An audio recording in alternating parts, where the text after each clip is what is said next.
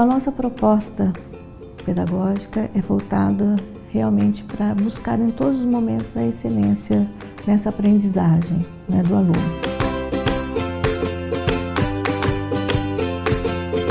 Então nós trabalhamos com aulas teóricas e aulas práticas. E as aulas práticas, ela tem como objetivo sedimentar esse conteúdo, fazer com que eles experienciem concretamente aquilo que eles veem na teoria. Essas aulas, quando elas são realizadas em um ambiente preparado, torna-se mais palpável o conhecimento da química. Ao colocar essas substâncias para reagir, eles conseguem observar de fato as transformações que ocorrem, conseguindo assim entender as representações que nós passamos em sala de aula. Com certeza, a prática em laboratório torna essa ciência bem mais fácil de ser entendida. Então, os laboratórios, eles vêm com esse objetivo. Então, nós temos laboratórios de biologia, laboratórios de química e laboratórios de física onde a turma se divide. Então nós trabalhamos com grupos pequenos de alunos, né? Porque aí eles vão poder realmente aproveitar ao máximo esses momentos do laboratório. As aulas práticas elas constituem um dos recursos metodológicos que vai auxiliar no ensino de ciências.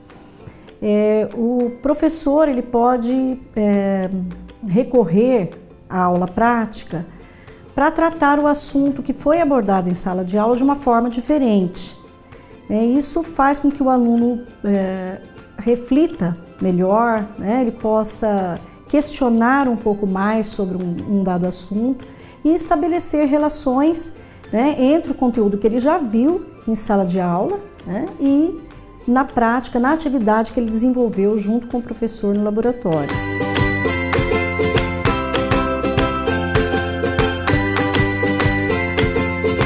É bem fácil observar a diferença entre uma aula teórica e uma aula prática.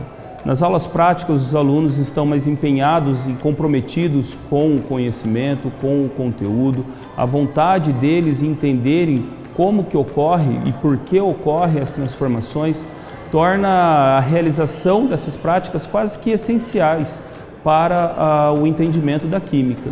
E assim eles acabam se tornando mais interessados em aprender e querer conhecer as transformações. As aulas práticas, elas não são necessariamente para comprovar fenômenos estudados em sala de aula, mas sim para levantar um questionamento, uma problematização, né? levando o estudante a questionar, a ampliar suas ideias no conhecimento científico, né? estabelecer relações com aquilo que ele viu em sala de aula, com aquilo que ele está desenvolvendo na atividade prática no laboratório.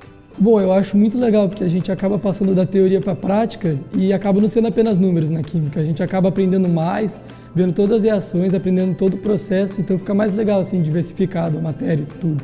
Eu acho importante a prática de laboratório porque além da gente ter a teoria lá na sala, a gente tem aqui a prática, sabe? A gente vai fazer as coisas na nossa mão.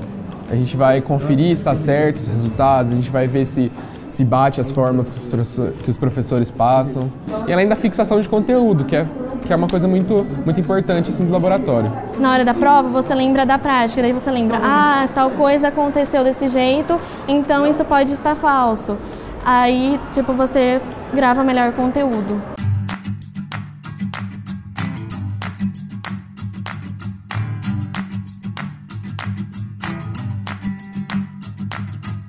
Nós temos também uma outra preocupação, além da área das ciências da natureza, com os dois carros-chefes que nós consideramos é, é, que são fundamentais para o processo de ensino-aprendizagem, que é língua portuguesa e matemática.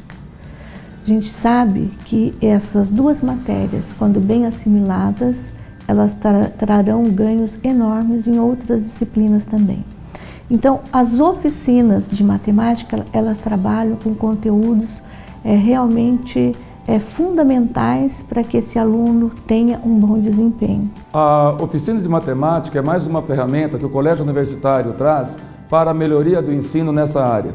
Nós temos as turmas reduzidas com menor número de alunos e aumentar a potencial de aprendizagem. Trazemos todo o conteúdo do ensino fundamental novamente para o ensino médio Para que a gente possa ter um novo conhecimento adquirido, nós não podemos esquecer o anterior. E isso ocorre constantemente, semanalmente, com essas oficinas.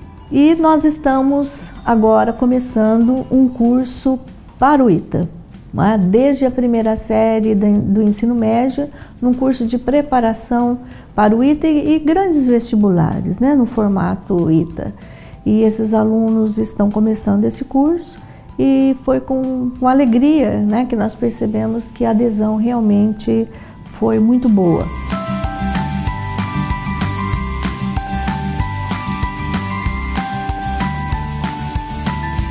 Então, com isso, nós estamos de olho em todas as necessidades, seja de que área for. Né? Então, nós temos monitorias, que são os atendimentos às dúvidas, é, nós temos os aulões temáticos, né? com, inter, com, com essa preocupação interdisciplinar, nós temos os simulados voltados então para as primeiras e segundas fases dos grandes vestibulares. Nós temos os simulados também Enem. Então, com isso, nós, a nossa preocupação é realmente fazer com que esse aluno tenha tudo o que ele precisa para passar no, no vestibular que ele quer.